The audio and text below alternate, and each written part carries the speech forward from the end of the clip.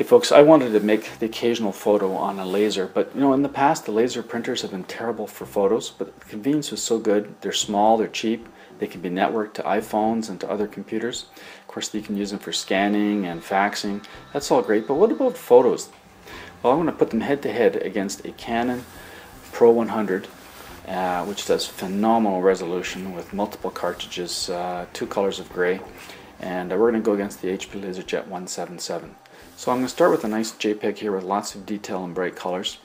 This lizard uh, was just printed on plain laser paper with the HP 177 and does a really good job. Uh, the colors are fairly bright, they're true. There's a little bit of uh, more contrast in the image um, and the, certainly the edges are crisp.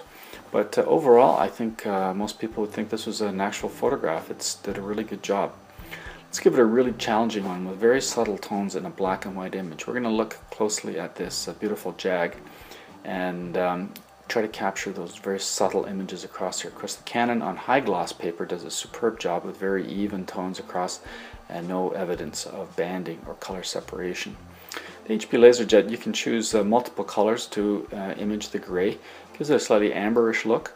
Or you can go with black and white option, which uh, is just the one color black uh, cartridge. If we look, uh, if we blow in right on that paint, blow up on the paint, uh, close in on it and look at how the pictures have rendered. Of course the Canon does a very nice job of being smooth across it. There's a little bit of visible banding on the HP LaserJet. Very challenging shot though and it did a great job of rendering it. So I shot some 4K video. Nice thing about that is that you can pull out individual frames and we're going to look at a frame right about now, we're going to take that frame out of that video and export it as a JPEG. These guys are having a lot of fun. So we have a lot of color going on here, a lot of contrast, and uh, some very large tones in those clouds. The Canon on glossy paper, which renders it beautifully, uh, is our standard.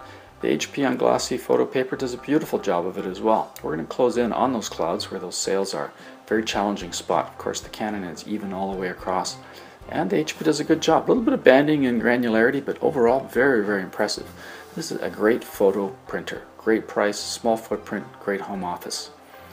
Highly recommended. Thanks for watching.